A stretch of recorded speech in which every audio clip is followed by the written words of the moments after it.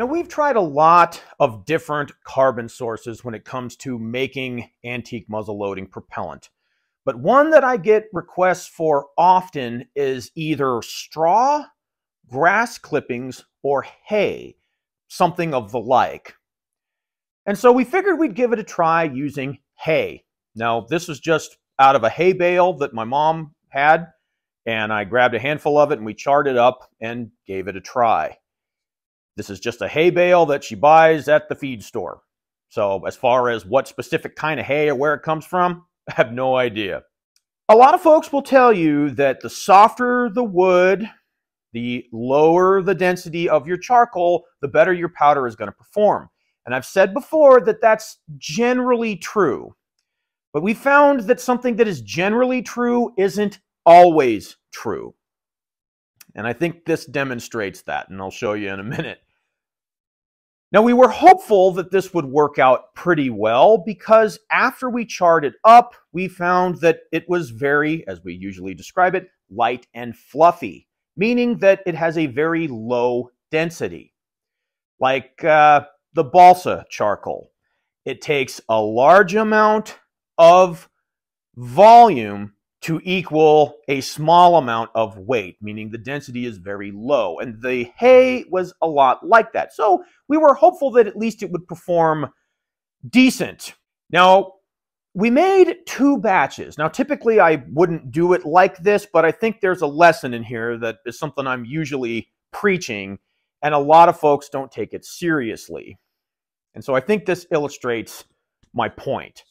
So we made two batches. One batch we made in our usual mill that has the lifter blocks shown in here.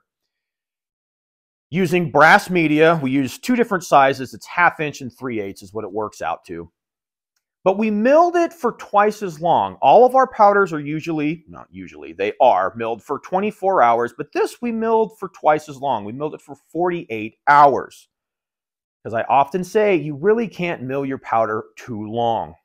The other batch is made in a smaller mill with no lifter blocks, which we've used before. But we didn't use the brass media, we used ceramic media and we milled it for 24 hours. So we have two different batches, one in our usual mill, milled for 48 hours, the other for 24 hours using ceramic media. So here's how it went. Okay, so this is our hay bale black powder. This stuff is milled for 24 hours using the ceramic media.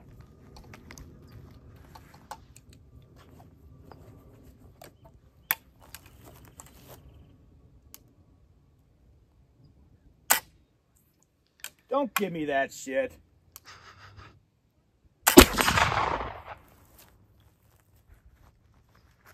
Wow. 1258. What? Wow, I. What? Wow. What a bummer. Shot number two with the hay bale powder. Okay, I'll nap my flint after this, I swear. 1258 again. One more. All right. Okay. New flint. Shot number two with the hay bale powder.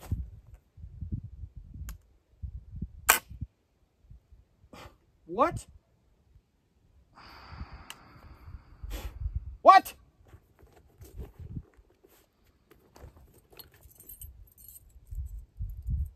Preposterous, I say. This isn't. Th th I don't know if I've ever seen you have this much trouble. I don't know if I have either. You even put a new flint in there. Well, that didn't help with that, did it? Well, All right.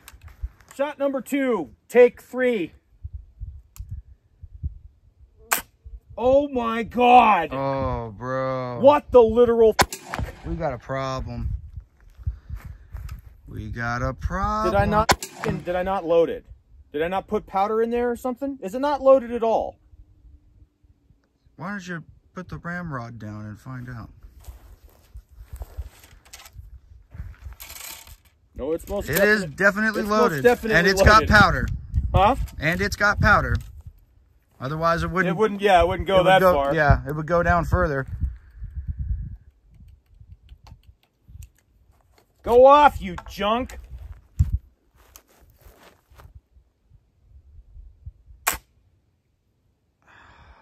Oh no. No. Oh no. What does it mean when the pick doesn't even do any good? Uh, bad stuff, bro. Bad, bad stuff.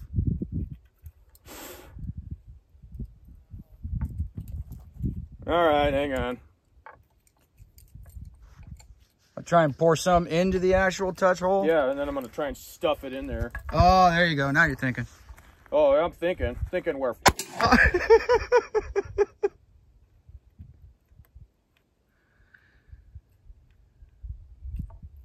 I've never I experienced this with this rifle. that's what I'm saying. I mean, I've experienced it on stuff that didn't have any powder in it. Yeah. Holy cow. We're off to a bad start. Yeah. Oh man. There we go. Okay, at least. 197. Wow. Okay, let's let's try try try try again, bro. What a what a fucking catastrophe. What the hell was that all about? I don't know. I've never had that happen before. And that hung too. Oh yeah, well I would expect it to. The touch hole's all stuffed full of powder. Yeah.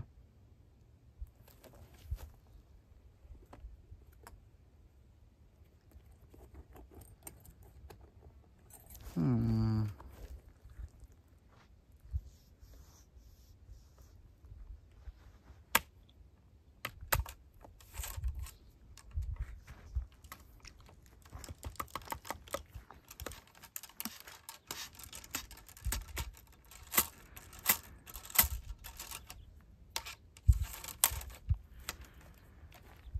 Think it'll go off this time? I I sure hope so. Well, I would like to get at least a few more numbers on it. I mean, Uh, yeah, three is is good. You know.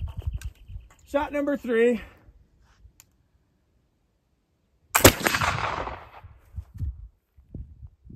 Thirteen forty one. Okay. Wow, that's a Let's do one more. that seems like a wide spread. yeah. Shot number three. Or four. I think it's four. Technically. I don't know how many shots it is actually. Uh, I don't know. I lost count when we started having fouling problems. Oh, Oh man. it's bizarre to me that this stuff can be pretty decently clean. I mean, I'm on six or seven. I'm still loading, and yet the touch hole continues to get fouled. I don't like it. Well, I think it's pretty obvious that uh, this stuff doesn't cut it. It sucks. This stuff sucks. Pocket. Oh, okay.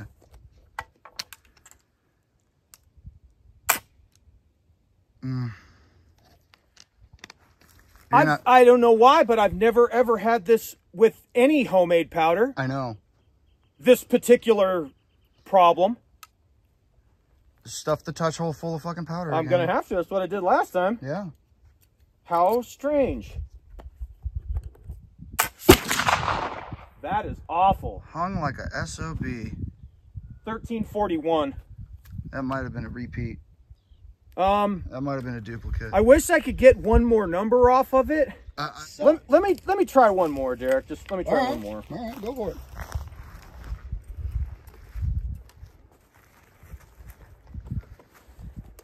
Uh, I would I would stuff powder into the touch hole on the first one. I got my pick stuck in there. Okay. Let's see if that helps. Got it. Might just be the hay. It might just be the straw mix for crappy car uh, charcoal. I don't know, man. Whatever it is, it's not happy about it. Yeah. Neither am I. Yeah, whatever it is, whether it's the media or the Okay.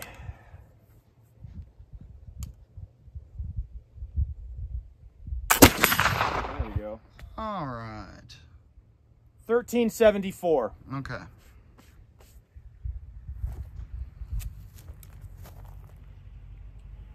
Okay, well that um that sucked. That was atrocious. Okay, so here is our other batch of hay bale powder. This stuff was milled for 48 hours in our usual mill using brass media.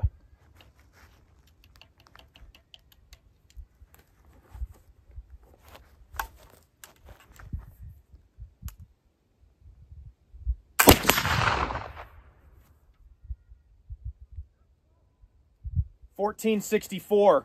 okay. It's not as junk, No, it's not as junk. but it's still a good 350 feet slower than the best stuff we've made. Right. But But it fired. it went off. It didn't hang. It didn't hang. There wasn't just some And it's already 100 feet per second faster than the other stuff. correct.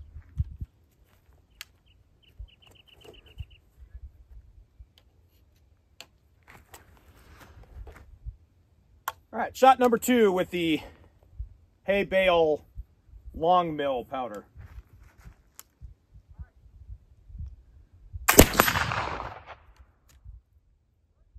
Fourteen fifty three. Okay, so mid fourteens.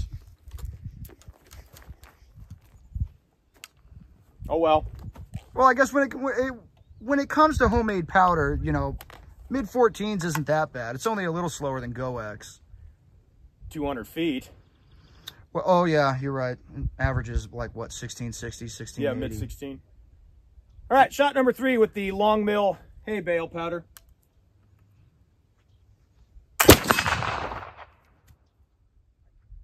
Fourteen twenty-seven. That's gonna average out to mid fourteen. We'll put one more on it. All right. But see how this stuff is going easy? Yeah, this stuff It- this stuff is firing fine. It's loading easy. It's consistent. It might be it might be weak, but it's consistent. It's going off. yeah, it's working just fine.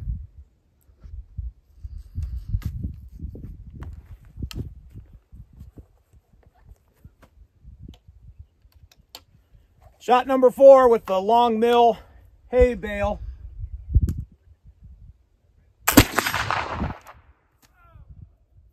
Fourteen forty-two. Okay. And probably average out. This stuff looks like GoEx. yeah. It's it's uh certainly not as powerful as GoEx, but it sure looks like GoEx as far as the fouling goes. Yeah, it does. I've certainly uh, certainly had worse. The fouling on the other stuff, the uh, 24-hour stuff with uh, ceramic, that was much much worse. But we had seven shots through it. True. All right. Now I want to do one more. Okay. All right. I want to up it to uh, let's do 70 Okay. and see what we get. Why don't you do a solid 50% boost, go 75. We'll go 75. Okay. All right. So we have our brass media 48 hour hay bale powder. And this is charged with 75 grains, so that's a 50% increase. Then we'll see if we get a number off of it.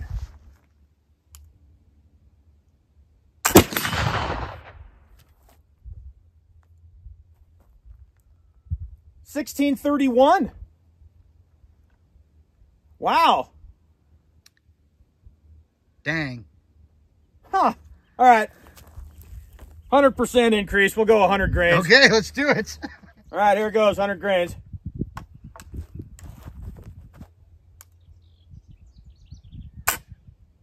You dirty, rotten scoundrel.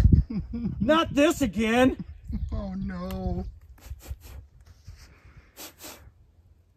Oh, There's a twig in there. yeah, a bunch of bunch of boogers in there. Let me try that again. Yeah.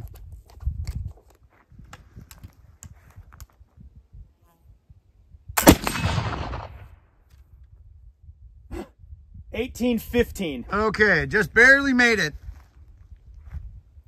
You have to double your charge. hey, hay bales make shit o- carbon. Okay, that that didn't work out like I uh, like I expected at all. I really thought that would work well. I know. I mean, and I don't mean like, you know, oh, the coffee grounds or, you know, used toilet paper. Like, I honestly thought that would. I figured that'd be on par with GoEx. I thought that would probably do like GoEx. Yeah. Well, okay, Well, that's but pretty rough. But the fouling on this stuff is very soft. Well, that that But makes do you see with the, the. do you see the chunkies right there? All right, let me zoom in. Bring her a little closer. That's that's really not oh, that's really not great. yeah, that is chunky. But the fouling seems to be soft. well, that's good. But like balsa. yeah, but I mean that's that's way dirty. I mean, look, it's got big old big old flakes. Big old flakes.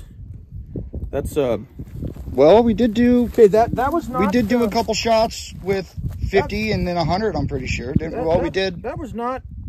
That that that that did not rock. Yeah, that was not cool. That was not key.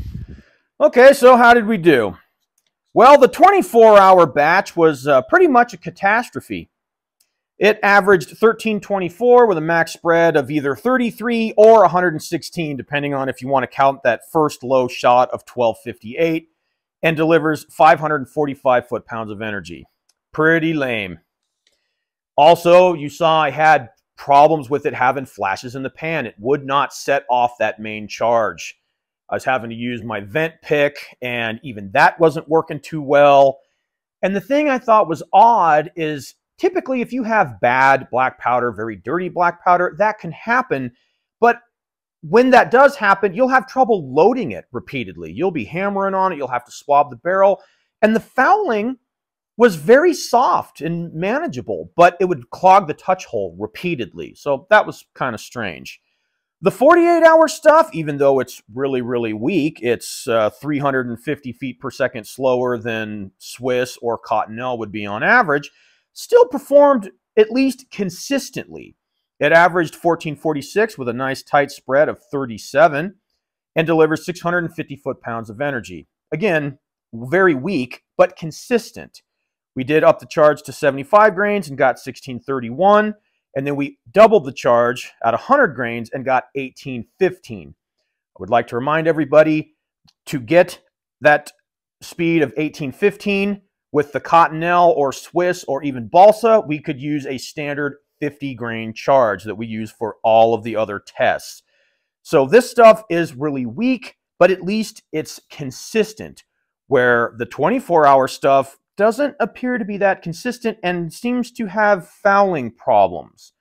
Now, if I had to take a guess, it probably is because of the media we used in that batch. That was ceramic media, which we haven't used in a long time. The reason why we went away from ceramic and went to brass is we found that in order to get the same velocities and cleanliness, we'd have to double the mill time. So I guess in hindsight, what we should have done is went 48 hours with that batch and 24 hours with the standard brass media deal. But either way, I think what this shows is it's important to have a mill that's running efficiently. And if you are going to change something, you're going to change your media, you're going to change your mill, you better check your stuff because you might get something strange like you'll lose 120 feet per second. All of a sudden, it'll be dirtier you really can't mill your powder too long. Now, I get people that leave me snappy comments about saying things. Well, one guy put it something like this You mix your powder for 24 hours because you say it's better. If I mix my pancake bat- batter longer, will my pancakes taste better? and uh, I haven't done that test, but for all I know, it's possible. But I don't know. Uh, really, as far as making pancakes go, is the incorporation of the ingredients that much more important? Because I know what's important when it comes to making sporting grade black powder. I don't know about making pancakes. I specialize in eating pancakes, not making them. So, overall, the takeaway is hay makes really lousy black powder. Important lesson when it comes to all of this is have an efficient mill and make sure you're milling it long enough because the difference in a lousy mill and lousy media can be a hundred and something feet per second. And we've seen this when it comes to better black powder, like, uh, you know, willow or eastern red cedar. A lot of times you can get closer to Swiss velocity if you just mill it longer. So as usual, folks, if you thought this video didn't suck, do me a favor and hit the like button. Consider subscribing. And if you did think it sucked, go make your own damn video.